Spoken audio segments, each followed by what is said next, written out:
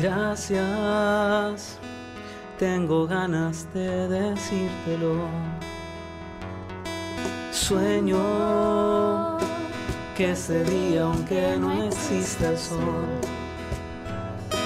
siento el aire aunque me cueste respirar y tenga que callar.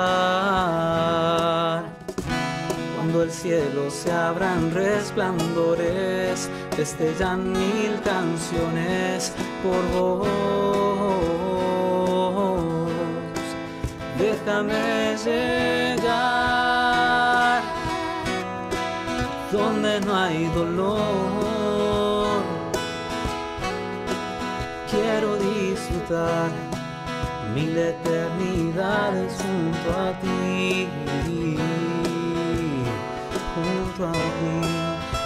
Déjame llegar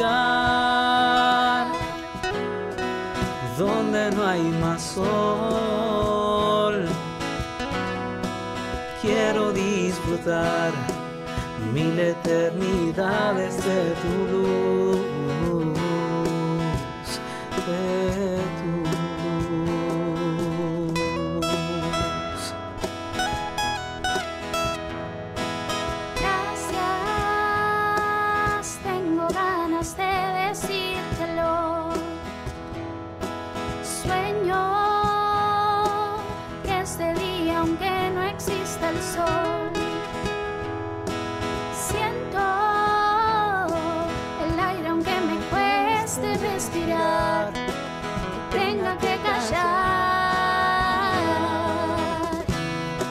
cielo se abra en resplandores, destellan mil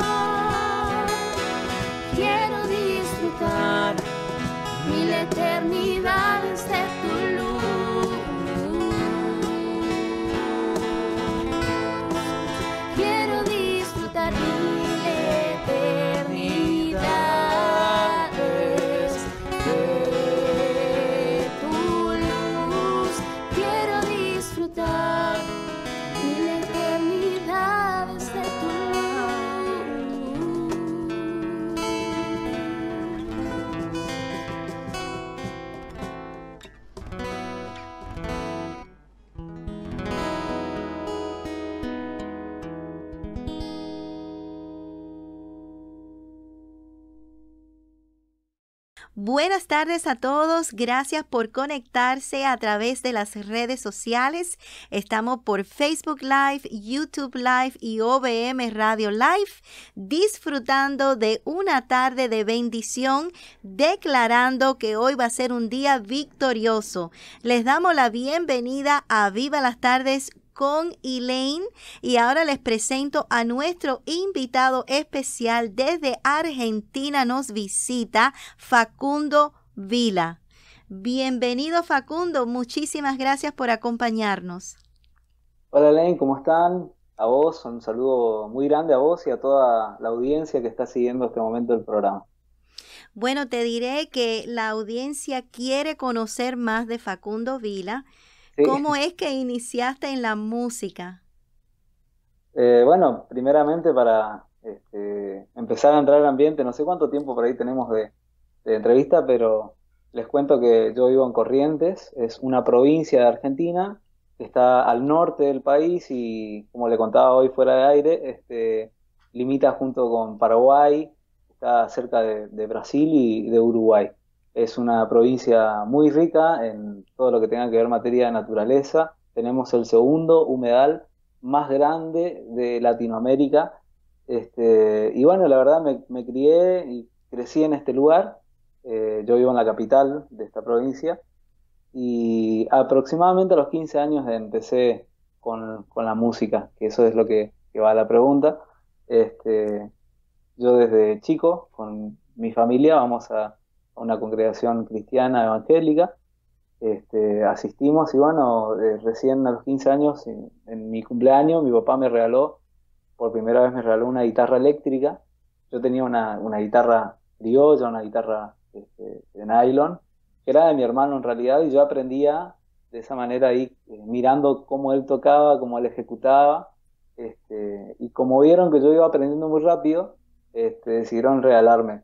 Eh, sí le digo que Argentina es un país un poquito difícil y complicado en muchísimas cuestiones, este, pero gracias a Dios mi papá hizo un, gran esfuerzo eh, para poder comprarme ese, instrumento que al comienzo para mí no sabía que iba a ser algo tan fundamental para, para mi vida o como, como lo es ahora.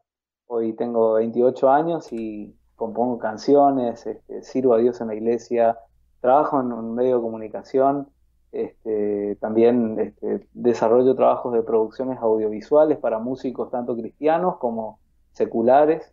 Eh, y bueno, y una gran cantidad de cosas que, rondan alrededor de la actividad este, musical. Este, he sido representante de la provincia de Corrientes en certámenes nacionales eh, y, grandes otras cosas que, el Señor me permitió vivir, pero siempre, como yo digo, este, una cosa eh, es poder vivir todo eso y después entender que, la gloria es para el Señor sobre todas las cosas y que, este, bueno, hay que aprender a disfrutar los momentos y aprender a entender que simplemente somos instrumentos del Señor y que es Él el que regala el don.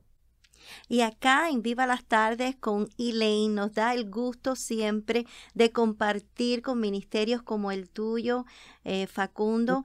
Siempre es un placer y qué lindo que puedas compartir eh, sobre tu país, eh, a dónde se ubica tu sector y cómo es que están ahora la situación con esto que estamos sufriendo todo de la pandemia. Sí, sí, con respecto a la pandemia, este, todas las recomendaciones que se, han dado a través de la Organización Mundial de la Salud y también al tanto de todas las noticias nacionales e internacionales, todo lo que está pasando en el mundo, como dice usted, porque eh, a nosotros nos llegó un poquito más tarde la pandemia de lo que empezó. Eh, en marzo fue el inicio de la cuarentena, que hasta el día de hoy sigue vigente. Eh, nuestra provincia estamos en este momento en fase 3 en la capital y en las demás ciudades de, la provincia estamos en, fase 5, pero la capital no puede hacer viajes de turismo interior, por ejemplo. Eh, hay muchísimos infectados, eh, hay muchísimos muertos en todo el país también, y con respecto a, a la cuarentena, ¿no? Y lamentablemente hechos a nivel nacional acá en Argentina que han sucedido que que no nos enorgullecen, como por ejemplo, bueno, la, muerte de este futbolista que ha sido representante de nuestro país, eh, Diego Armando Maradona, que lamentablemente el, gobierno no supo organizar bien la despedida, el funeral, el velorio, que lo hicieron en Casa Rosada y muchísima gente fue y hay mucho temor porque se haga un nuevo rebrote de, la cantidad de gente y la imprudencia que, que fue eso, ¿no? Sí, gracias por eh, compartir lo que ha estado pasando en estos días allá en tu país.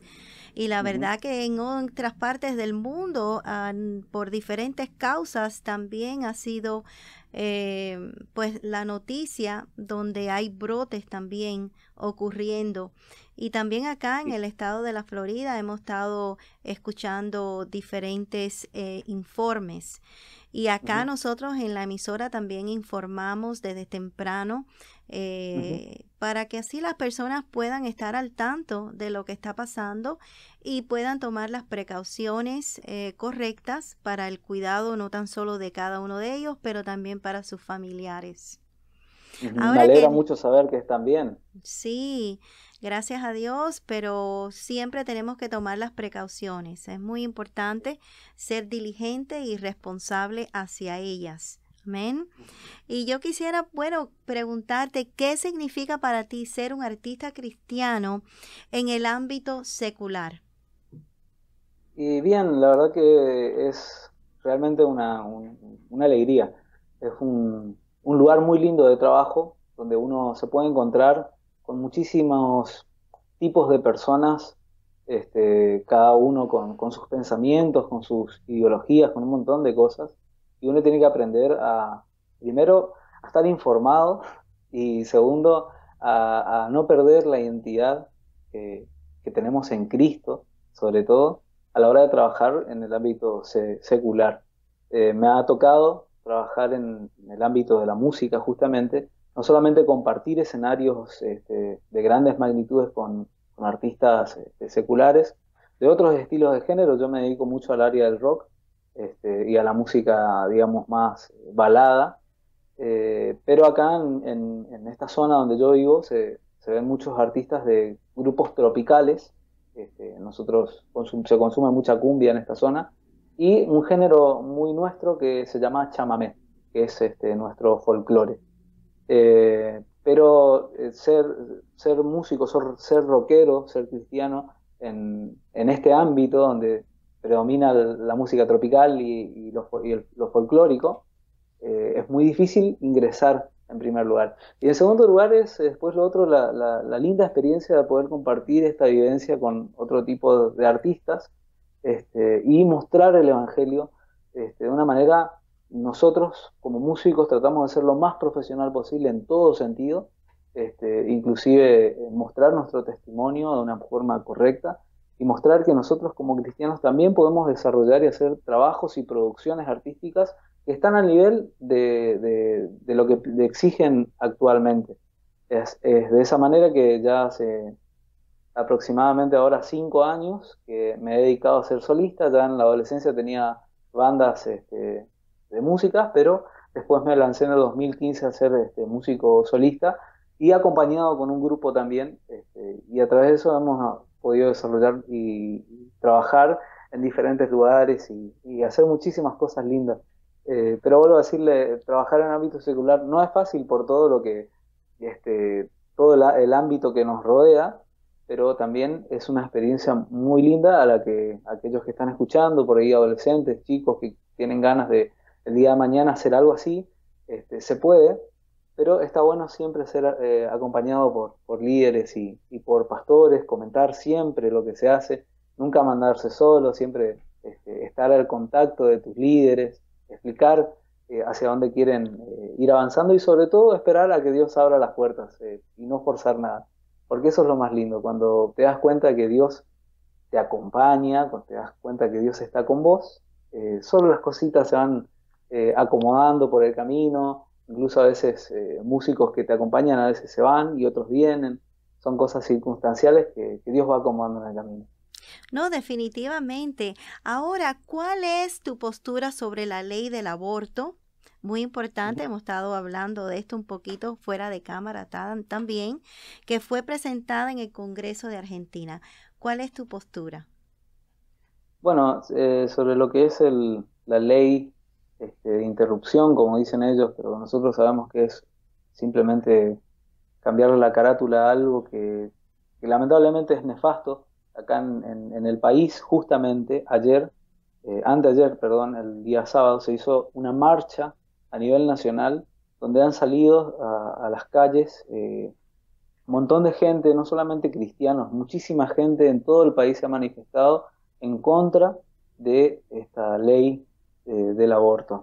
Yo, con mi postura, yo estoy en contra por lo que me enseña la Biblia, por mis principios, por mis valores como persona, como ser humano, creo que eso no está bien, no es correcto, que inclusive acá en el país, acá en Argentina ya hay una ley este, de aborto que contempla para la gente que ha sufrido casos de, violación y que eh, está sujeto a la justicia. Y sin embargo, a pesar de que ya hay una ley en ese sentido, este, hay todo un movimiento que se levanta este, en contra de nuestros principios como, como cristianos y creo yo que hay que ser radicales en esto, de este, mostrarnos en contra eh, como cristianos, salir adelante y no estar en, en una actitud pasiva decir, bueno, otros se van a manifestar, bueno, otros van a dar su opinión.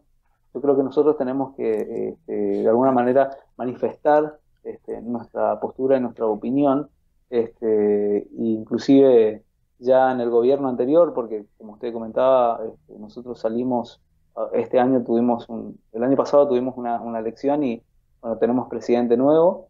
Y el presidente anterior que dijo que él estaba a favor de la vida, sin embargo, este, permitió que se haga nuevamente el debate en el Congreso y ahora se está preparando con este nuevo gobierno este, mandar el proyecto. Y fue una promesa de este nuevo presidente que está ahora este, en Argentina, eh, fue una promesa de campaña este, legalizar el aborto en nuestro país y nosotros como cristianos le hemos dicho un no rotundo y esa es nuestra postura, esa es mi postura y es la postura de muchísima gente que hoy en Argentina se ha levantado para decirle no. Facundo, ¿cómo es predicar el Evangelio en el contexto artístico y cultural de tu país? Eh, la verdad que es, saliendo ya del tema anterior, ¿no? Este, predicar el Evangelio es algo, eh, primero tiene que ser para nosotros un estilo de vida. No podemos decir, bueno, yo este, me paro en un escenario y ahí predico el Evangelio, pero cuando me bajo no quiero predicar, me parece que es, este, no, no, no condice. Eh, tiene que ser un estilo de vida y tiene que ser una manera de compartir sobre todo este, tu fe, tu vida. Tienes que vivirlo primero para después compartirlo. Si nosotros no vivimos el, eh, el Evangelio primeramente, personalmente, cuando salgamos a la calle, cuando estemos en un eh, evento, en algún recital, en, cualquier lugar, eh, no vamos a poder predicar porque no es lo que está en nuestro corazón. Eh, así que de alguna manera predicar en el ámbito secular, este, en primer lugar la gente es muy respetuosa. Este, lo que pasa es que a veces no se quieren comprometer, pero sí poder compartirle a la gente es, muy lindo. Yo tuve experiencias en eventos que hemos realizado con mi, con mi banda, con mi grupo, donde hemos realizado en lugares este, que no son cristianos, en lugares seculares como pubs, eh, nos han invitado a, a, restaurar, a tocar, a, a, muchos lugares y dentro de eso hay teatros comunitarios y locales acá en, la capital, donde hemos realizado muchos eventos presentando discos, presentando este, nuevas canciones y en una de esas oportunidades este, me pasó que al finalizar un, show, este, se acerca una chica con una amiga de un músico de mi banda, eh, me dice, Facu, mira, ella es fulana y te quería decir algo, me dice. La chica estaba emocionada, me dice, nunca, eh, no era cristiana esta chica, era por primera vez iba a un, evento cristiano, y emocionada me dice, mira, la verdad que nunca, no sabía que, en su religión habían eh, artistas así que sentía cosas especiales, que sentía cosas lindas.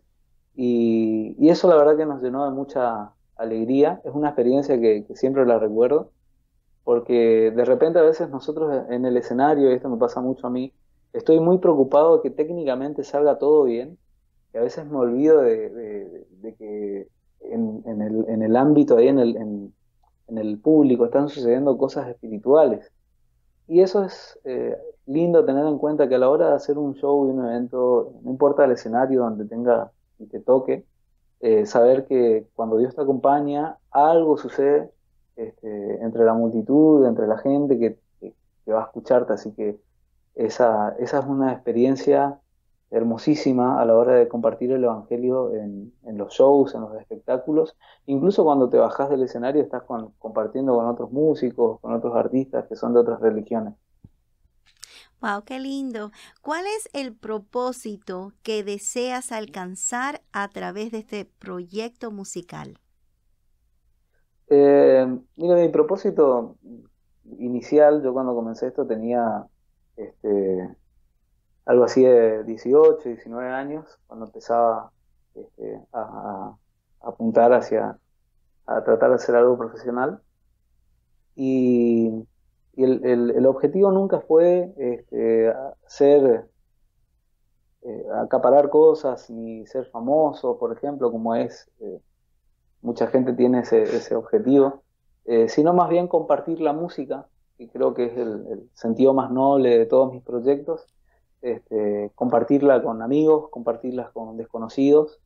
Este, como en este caso, por ejemplo, que estamos hablando de, todo esto, y, no sé a, cuántas, cuántas personas estemos llegando, capaz lleguemos a una, capaz llegamos a 50, lo importante es que podamos compartir.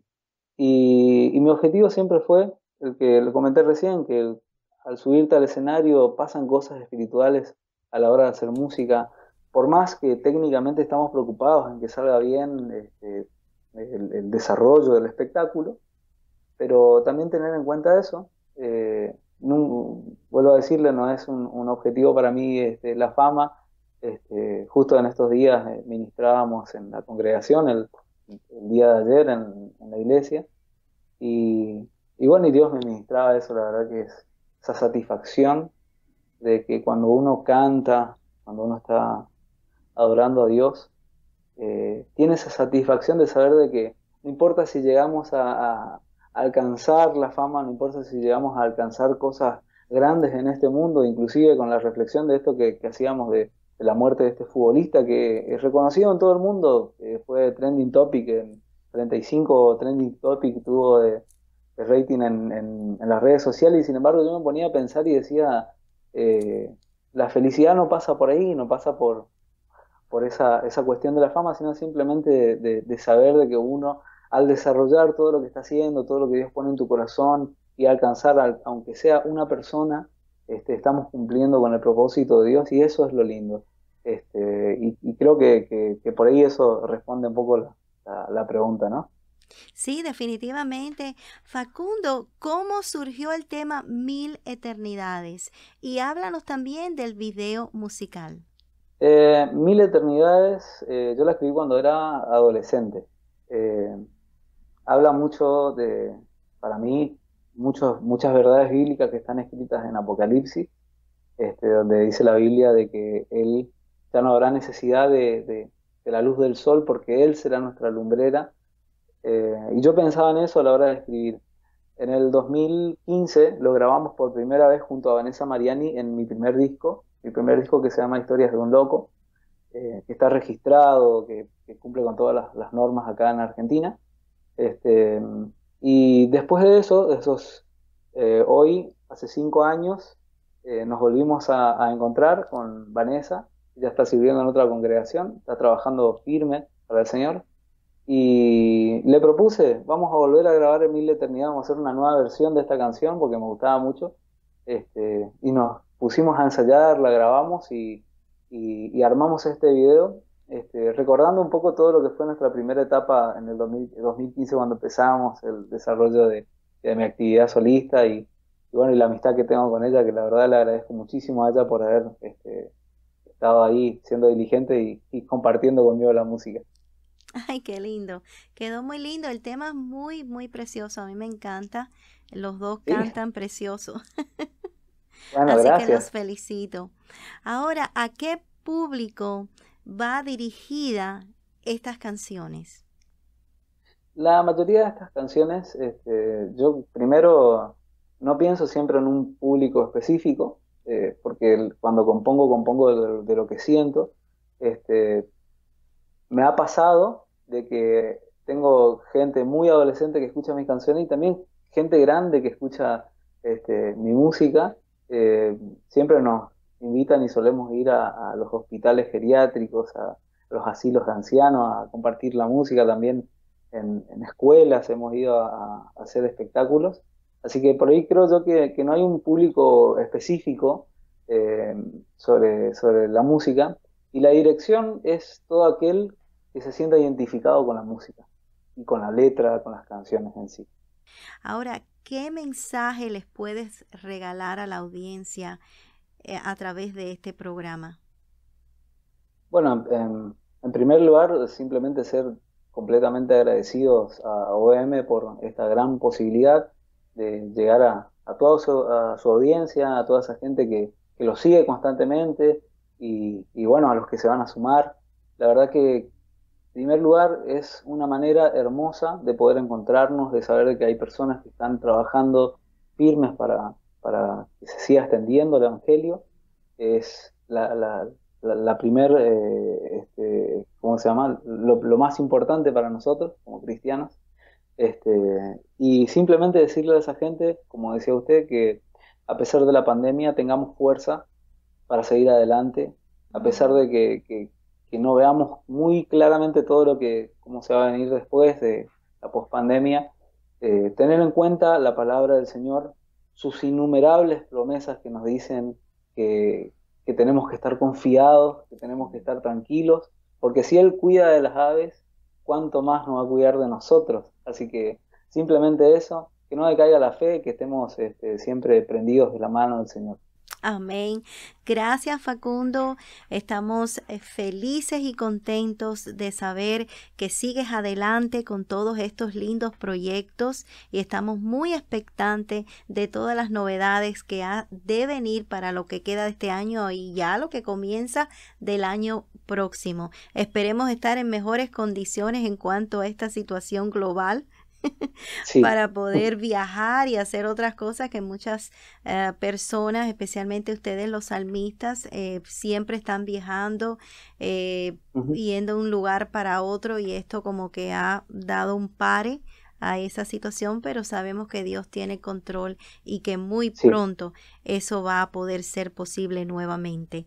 Bueno, ya hemos llegado al final del programa. Yo quisiera que compartieras con nosotros algunas palabras y también dónde podemos adquirir tu música, porque aquí en OBM Radio ya se escucha la música de Facundo Vila. Bueno, la verdad, muchísimas gracias y simplemente este, darle las gracias por, este lindo espacio. Este, bueno, a la gente que quiera este, seguirme en las redes sociales, estoy en, Instagram y en Facebook como Facundo Vila Banda en Instagram. Y en YouTube eh, está todo mi material ya este, disponible para la gente que quiera y eh, los que usan Spotify también eh, lo pueden adquirir de esa manera.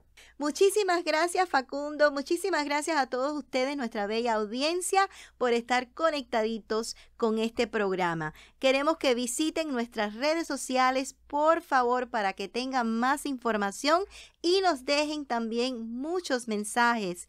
Queremos conocerles a través de lo que ustedes nos envían y si desean algún programa en particular, pues también los pueden dejar saber. Estamos felices y contentos y nos vemos en la próxima edición de este bello programa Viva las tardes. Hasta pronto.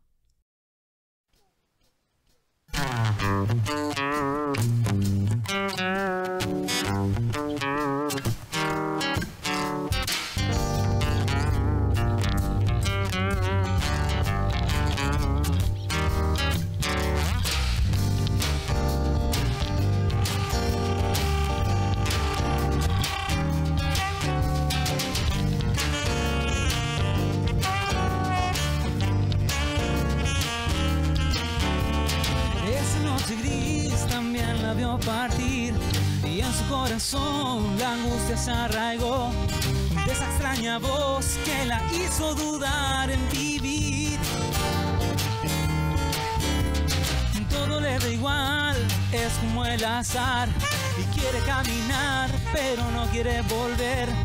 Piensa que es amor, una canción de los 70 y no vio, no.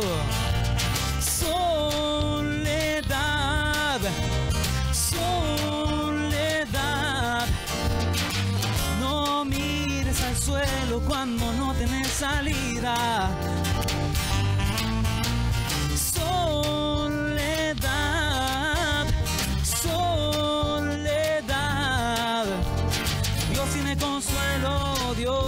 Salida al final.